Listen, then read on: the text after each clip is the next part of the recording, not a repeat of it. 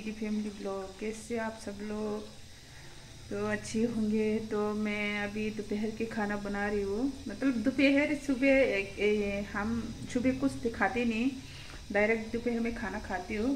तो चाय पी लिया मैंने अभी। ठंडी की वजह से मैंने चाय पी लिया। विंटर के समय में कभी कभी चाय पीती हूँ, लेकिन गर्मी के टाइम में समर में चाय पीती नहीं हूँ बिल्कुल भी।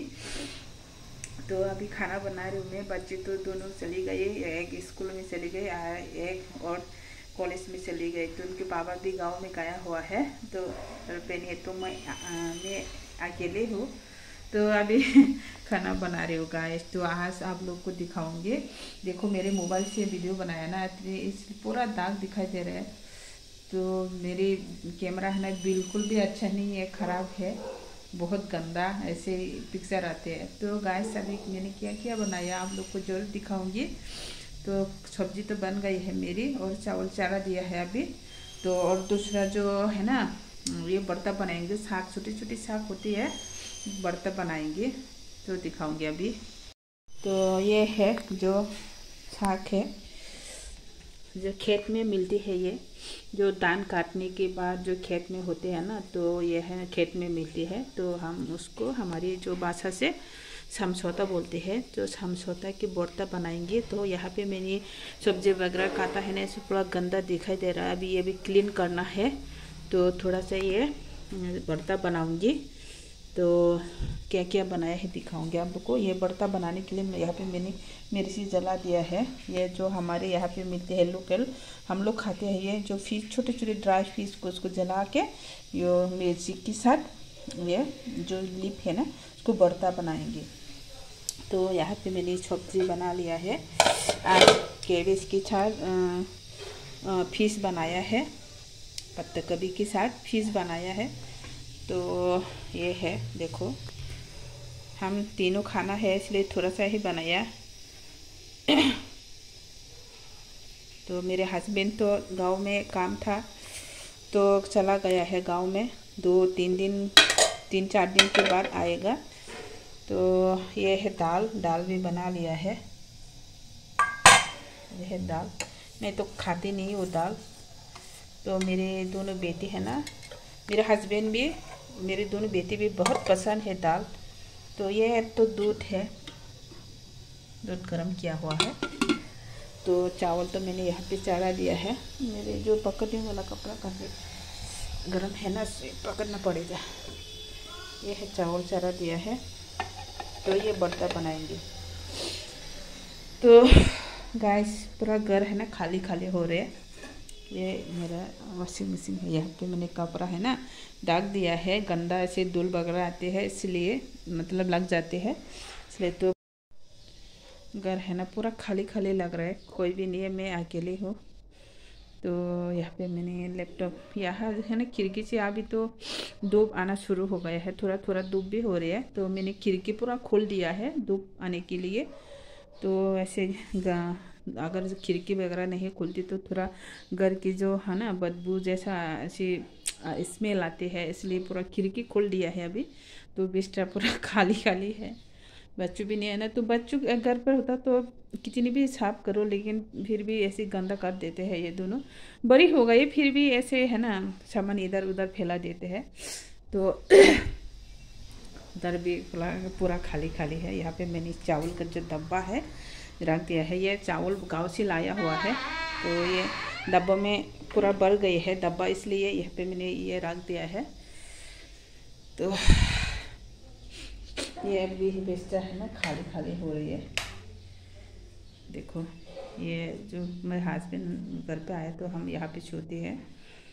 तो ये टेबल वगैरह, पूरा। तो ये खिड़की भी खोल दिया है, इस तरफ़ की भी।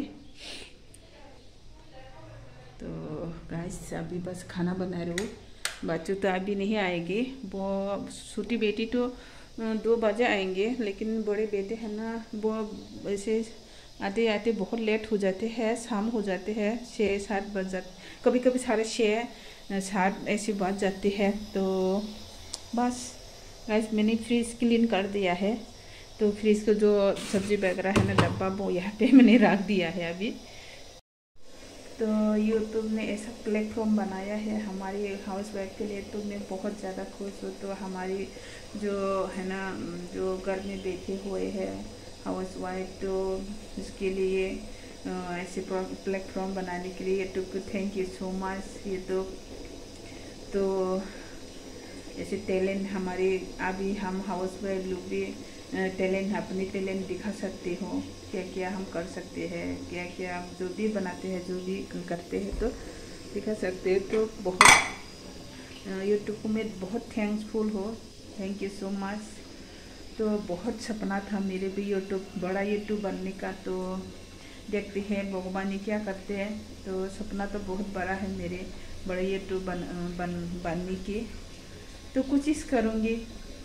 तो मोनेटाइज तो होगा ही है अभी, बस व्यूज़ मिलना बाकी है तो यूट्यूब वाले मेरी वीडियो को भी थोड़ा वायरल कर दीजिएगा गाइस सॉरी गाइस में तो यूट्यूब वाले जो, यहाँ को जो होते हैं बड़े बड़े जो यूट्यूब चलाते हैं ना, जो यूट्यूब को, जो बनाते हैं, ये लोग को मैं बोल रही बोल रही हूँ तो मेरी वीडियो को वायरल कर देना, सार यूट्यूब जो मालिक है। तो बहुत बहुत मेहरबानी होगी। तो मेरे बहुत ज़्यादा व्यूज़ कम कम है, इसलिए मेरी है ना, अभी थोड़ा सा मन उदास तो नहीं है, लेकिन कुछ कोशिश करूँगी मैं। जब तक नहीं होगा, तब तक मैं करते रहूँगी। तो सपोर्ट कीजिएगा गाइस हाय गुड मॉर्निंग दोस्तों। आप सबको मेरा नमस्कार। तो मैं गाँव में आया हुआ है। गाँव में काम चल रहा है। तो बच्चे और फैमिली तो सिटी में है तो कभी उधर, कभी इधर घर के काम के सिलसिले में भागदौड़ करना पड़ रहा है। तो दोस्तों, मैं दिखाऊँगा अपने गाँव के घर जो भी काम चल रहा है। तो वीडियो के साथ जुड़े रहना दोस्तों, और आप लोगों की हेल्प की ज़रूरत है। चैनल को सब्सक्राइबर सब्सक्राइब कर देना। ओके दोस्तों। जो मैंने बताया था, जो बाई का, छोटा बाई का डोजर से काम चल रहा है तालाब का, ये देखो।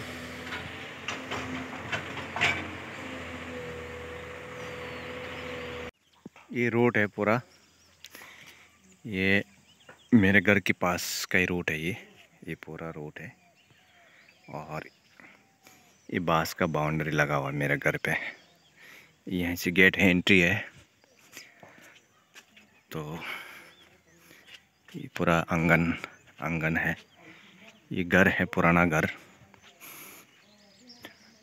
पापा ने बनाया। और इसमें मेरा नया घर बनाने के लिए तैयार किया मैंने। तो इस तरह से लोग है मेरे घर का। अभी तो काम चल ही रहे ख़त्म नहीं हुआ है। ये इधर से एंट्री है। और इस तरफ़ जो है, गैरिस गैरिज बनाने के लिए सोचा था। अभी क्लियर नहीं है रूम भी बना सकता हूँ। और रूम वैसे कम पड़ रहा है। ये इस तरह से है। जैसे कि ये अभी एंट्री हो गया। ये तीन तीन लाइनों का है। एक, दो, तीन, इस तरफ़ तीन रूम, इस तरफ़ तीन, इस तरफ़ तीन। यानी हर रूम चौदह, बारह फीट का है। ये दो रूम लगा के पूरा एक हॉल रखा हूँ मैं। तो हॉल के सामने ये एक रूम पूरा दीवार के पीछे लेटरिन बाथरूम के लिए तैयार किया हूँ। इस तरह से है। ये अंदर गली है। तो इसके साथ उधर बाथरूम और ये इसी के साथ एक ये रूम है और एक ये रूम दूसरा इसी के साथ एक गैरेज के लिए तैयार किया था। शायद ये रूम भी बन सकते हैं।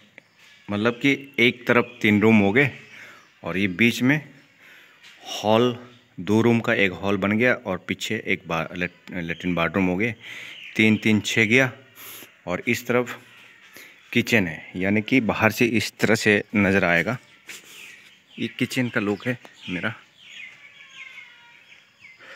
मतलब इधर वाला लाइन है ये किचन हो गया, ये इधर से अंदर होके, सीढ़ी से अंदर होके ये हॉल में घुसा। तो ये किचन ये किचन पूरा ओपन है, इसमें ग्लास लगेगा।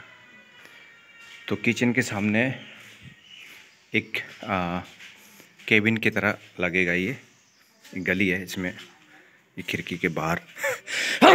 सॉरी ये किचन के दरवाजे के सामने से एक केबिन आगे एक ग्रिल ग्रिल लगेगा इसमें।